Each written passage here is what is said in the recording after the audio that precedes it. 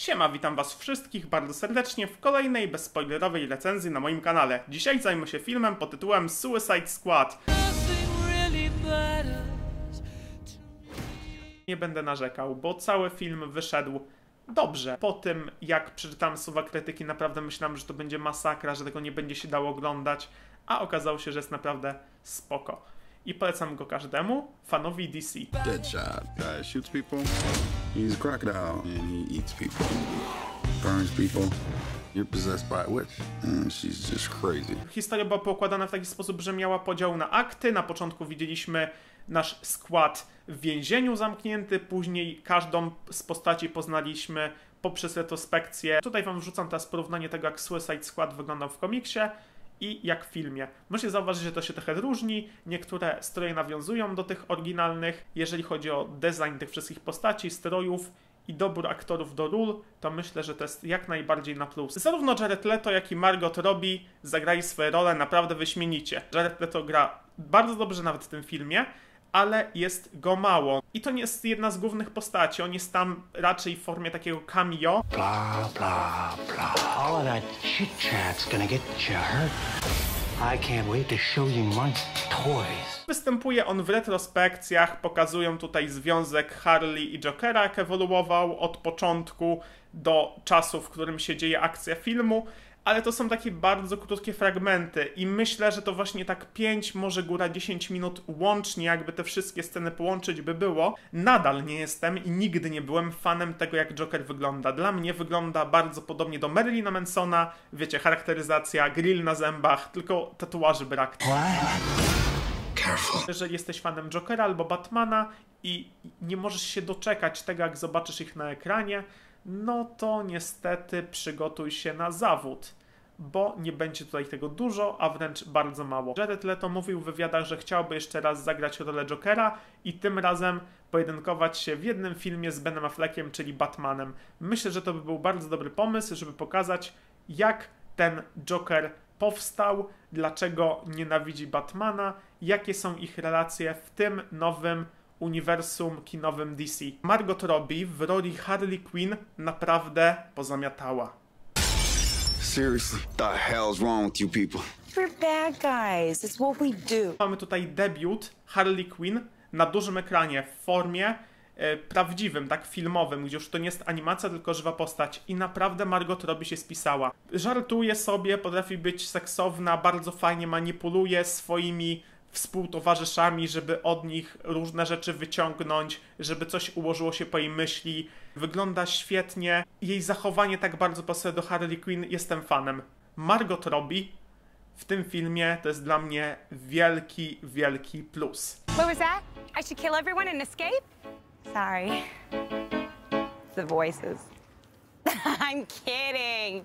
That's not what they really said. Kolejnym wielkim plusem jest rola Willa Smitha, który tutaj był kreowany na właśnie postać pierwszoplanową. On grał rolę Deadshota. This is the exterminator you called for your rat problem. Account's looking a little thin. No one gets paid until what needs to get done gets done. Nope, that's not the rules. No money, no honey. Postać taka niejednoznaczna, bo on jest zbirem, ale ma też swój taki konflikt wewnętrzny i myślę, że gdyby nie ta cała okoliczność, która sprowadziła go do tego, że musiał być w Suicide Squadzie, prędzej czy później z, z tą całą drogą przestępczą on by zrezygnował, by przestał być przestępcą i po prostu jakoś sobie chciał dalej użyć życia.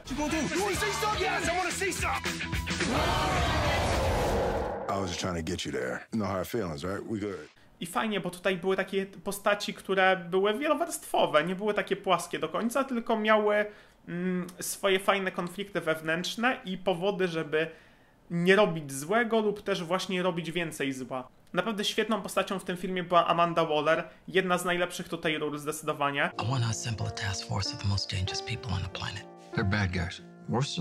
Jeżeli kojarzycie na przykład Arrow albo komiksy DC, no to wiecie z czym Amanda Waller się je. Jednym takim stwierdzeniem ją określę twarda babka i idealnie ta aktorka grała jej rolę. Bardzo na plus. Na plus zasługuje także humor, którego jest tutaj sporo. Jakieś docinki między naszymi postaciami są bardzo fajne. Harley Quinn między Deadshotem, Deadshot między Killer Crociem i tak dalej, i tak dalej. I to jest bardzo zabawne, ten humor nie jest jakiś taki super wymuszony, uważam, że jest dosyć zabawny, Sala też się śmiała, więc myślę, że tutaj humor wyszedł. I dobrze, że dorzucili to do świata DC. Well, looky here. Fire! I moim zdaniem, jeżeli chodzi o ten film, to dla mnie osobiście Batman v Superman jest gorszy od tego filmu. Przynajmniej jeżeli chodzi o relacje między postaciami. Tutaj uważam, że postaci są fajnie zbudowane, fajnie pokazane, e, wielowymiarowe i widz jest łatwiej w stanie się utożsamić z nimi. I to jest główna zaleta tego filmu, że każdy może wybrać sobie jakąś postać, utożsamić się z nią i pomimo tego, że każda z tych postaci jest mniejszym lub większym przestępcą, łatwo da się dostrzec tą ludzką ich stronę i wczuć się w ich sytuację. No, największym minusem jest tutaj villain, który jak zwykle chce zniszczyć świat i to jest taki oczywisty villain, który nie jest jakimś super mega zagrożeniem i jeżeli widz potrafi myśleć, no to tak naprawdę po pierwszych 10-15 minutach zorientuje się, kto będzie tym wielkim złym w tym filmie. Ludzie naprawdę bawili się fajnie na pokazie, było wiele śmiechów, w momencie kiedy była jakaś sytuacja taka bardziej dramatyczna, było cicho. Film jest dobry, jeżeli jesteście fanami DC, idźcie, bo warto. Jeżeli nie jesteście fanami DC i dopiero wchodzicie w ten świat,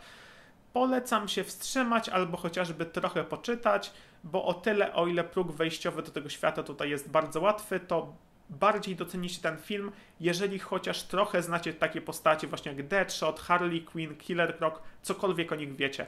Wtedy film będzie się Wam zdecydowanie przyjemniej oglądać. Jeżeli ta recenzja Wam się podobała, dajcie łapkę w górę. Jeżeli chcecie być na bieżąco z materiałami, które tutaj wrzucam, kliknijcie przycisk subskrybuj.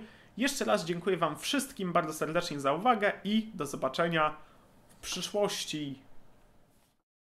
I jeszcze jedno, pamiętajcie, że w trakcie napisów końcowych występuje dodatkowa scena. Nie wychodźcie proszę, tak jak ludzie na każdej premierze filmu Marvela czy DC, jakie oglądam, bo to jest strasznie żenujące, a z jednej strony śmieszne, bo mi jest szkoda tych ludzi, którzy wychodzą.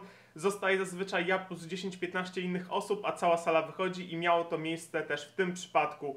Więc nie wychodźcie, bo chyba nie chcecie być tymi ludźmi, którzy później jak debile wracają się do kina, słysząc, że puszczają kolejną scenę. Takie przypomnienie. Pamiętajcie, na filmach Marvela i DC w 90% przypadków zawsze jest dodatkowa scena. Na razie!